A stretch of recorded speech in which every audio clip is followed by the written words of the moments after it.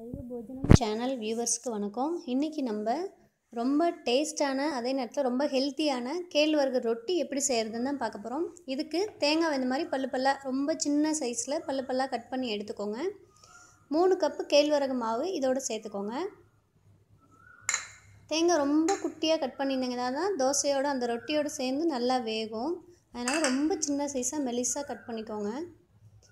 மூணு கப் கேழ்வரகு மாவு. அடுத்து வந்து கொஞ்சம் ஏலக்காய் ஒரு பிஞ்ச் அளவுக்கு ஏலக்காய் சேர்த்துக்கோங்க. கால் டீஸ்பூனுக்கு இன்னும் கொஞ்சம் கம்மியாகவே உப்பு சேர்த்துக்கோங்க.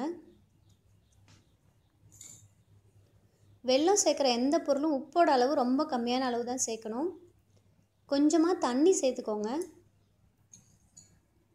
இதை நல்லா கெட்டியமாக பிணைஞ்சிக்கோங்க நல்லாவே கெட்டியமாக இருக்கட்டும். இந்த பதத்துக்கு மாவு இருக்கிற மாதிரி பார்த்துக்கோங்க.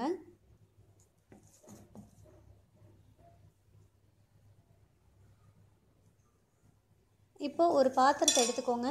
அதில் ஒரு கப் நுணுக்கின வெல்லத்தை சேர்த்துக்கோங்க. ஒரு கால் டம்ளர் அளவுக்கு தண்ணி சேர்த்துக்கோங்க. இதை அடுப்பில் வச்சு வெல்லம் கரையிற வரைக்கும் நல்லா கொதிக்க விடுங்க.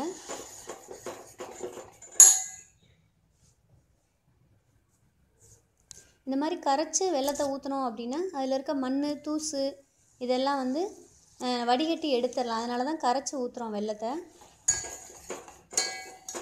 அதே மாதிரி இந்த மாதிரி வெள்ளத்தை வந்து கரைச்சி அதாவது அடுப்பில் சூடு பண்ணி கரைச்சி ஊற்றுனோம் அப்படின்னா வெள்ளம் சேர்க்கறதுனால சில பேருக்கு தொண்டை வலி வரும். அதுவும் வராமல் இருக்கும். அதனால் முடிஞ்ச வரைக்குமே எப்போ வெள்ளம் வந்து சேர்த்திங்கனாலுமே கொஞ்சம் நுணுக்கி இந்த மாதிரி அடுப்பில் வச்சு சூடு பண்ணி கரைச்சி வடிகட்டி அப்புறமேட்டுக்கு வெள்ளை சத்து சேர்த்துக்கோங்க. வெள்ளத்தில் வந்து இரும்பு சத்து இருக்குது கேழ்வரகு மாவில் கால்சியம் சத்து இருக்குது இது ரொம்ப உடம்புக்கும் நல்லது.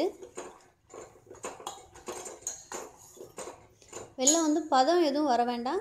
அந்த வெள்ளம் கட்டி இருக்கிறது மட்டும் கரைஞ்சிச்சினாலே போதும். கரைஞ்சதுக்கப்புறம் அடுப்பு ஆஃப் பண்ணி கொஞ்சம் நேரம் ஆற வச்சுருங்க.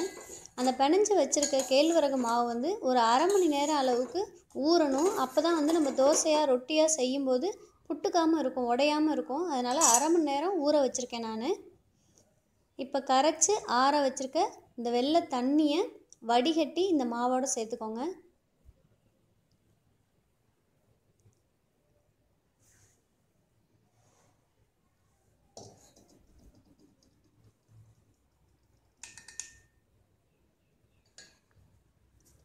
மாவு வந்து இந்த பதத்துக்கு இருக்கணும். தண்ணியாகவே இருக்கட்டும். ரொம்ப தண்ணியில் ஓரளவுக்கு தண்ணியாக வச்சுக்கோங்க. இதை கரண்டியில் மோந்து ஊற்றி கொஞ்சமாக அப்படியே எல்லா பக்கமும் பர பரவலாக பரப்ப விடுங்க.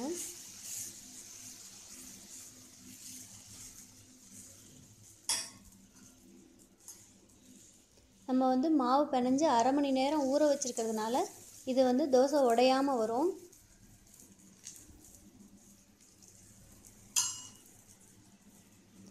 இதே மாவை ஃபஸ்ட்டு பிணைஞ்ச அளவுக்கு கெட்டியமாக வச்சுக்கிட்டு வெள்ளத்தையும் அதோடு சேர்த்து நல்லா கெட்டியமாக வச்சுருந்திங்கன்னா அடையாகவும் கையிலே அந்த தோசைகளில் தட்டிடலாம்.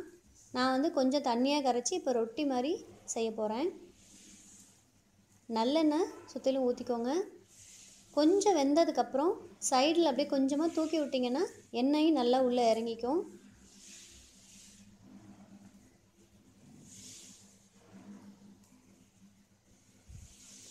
ஒரேடியாக ரொம்ப நேரம் வேக விட்டோம்னா தீஞ்சிரும். அதனால் கொஞ்ச நேரத்துக்கு ஒரு தடவை ரெண்டு மூணு தடவையாக திருப்பி போட்டுக்கிட்டே இருந்தீங்கன்னா தீயாது. அதே நேரத்தில் நல்லாவும் வெந்துடும் இப்போ சைடில் கொஞ்சமாக தூக்கி விடுங்க எண்ணெய் உள்ளே போகிறதுக்காக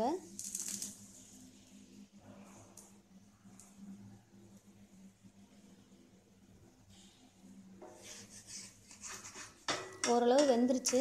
இப்போ இதை திருப்பி போட்டுக்கலாம்.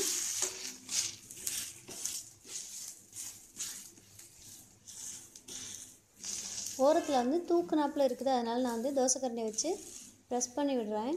இல்லைனா அந்த ஓரம் வேகாமல் இருக்கும் இல்லைங்களா? அதனால் கொஞ்சமாக ப்ரெஸ் பண்ணி விட்டுருக்கேன்.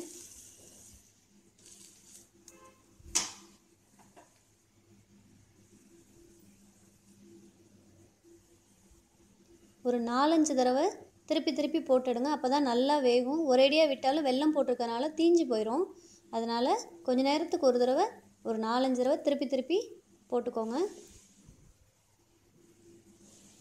அரை மணி நேரம் ஊற வச்சுருக்கனால ரொட்டி நல்லா சாஃப்டாகவும் இருக்கும். தேங்காய் நல்லா வெந்துடும் நம்ம திருப்பி திருப்பி போடுறதுலே. அதனால் இது வந்து ரெண்டு நாள் வரைக்குமே வச்சுருக்கலாம். கெட்டு போகாது. தேங்காய் நல்லா வெந்துடும் அதனால் கெட்டு போகிறதுக்கு வாய்ப்பே கிடையாது. ரெண்டு நாள் வரைக்கும் வச்சுருந்து சாப்பிட்லாம். இதை வந்து காலையில் டிஃபனாகவும் நீங்கள் செஞ்சுக்கலாம். டைமும் கம்மியாக தான் ஆகும். டேஸ்ட்டு அதோட ஹெல்த்தியாகவும் இருக்கும். ஈவினிங் ஸ்நாக்ஸாகவும் ட்ரை பண்ணி பார்க்கலாம்.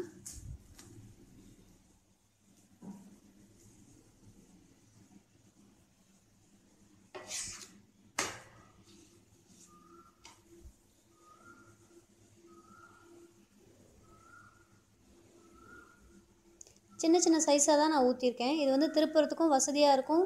நான் க கல்லோட சென்ட்ரு பகுதியில் இருக்கனால நல்லா வேகிறதுக்கும் நிறைய சான்ஸ் இருக்குது அதனால் வந்து ரொம்ப பெருசாக ஊற்றி சரியில்லாமல் பண்ண வேண்டாம். நடுவில் வந்து தோசைக்கல்லோட நடுப்பகுதியில் ஊற்றி நல்லா வேக விடலாம்.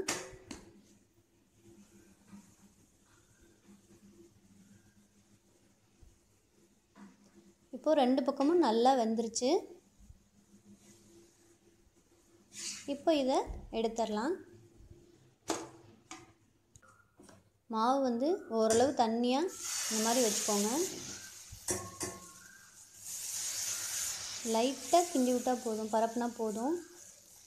ஏன்னா அது தண்ணியாக தான் இருக்கிறதுனால அதுவே ஒரு சைடில் ஓடிடும் லைட்டாக தோசை கரண்டி இந்த மாவு கரண்டியை வச்சு பண்ணாலே போதும். எண்ணெய் ஊற்றிக்கோங்க சைடில் நல்லா தூக்கி விட்டு எண்ணெய் உள்ளே போனோடனே நாலஞ்சு தடவை திருப்பி திருப்பி போட்டு எல்லா மாவையும் இந்த மாதிரியே ஊற்றி ஊற்றி கேழ்வரகு ரொட்டி செஞ்சுருங்க. இப்போ கேழ்வரகு ரொட்டி ரெடி ஆயிடுச்சு கண்டிப்பாக இது உங்களுக்கு பிடிக்கும்னு நினைக்கிறேன்.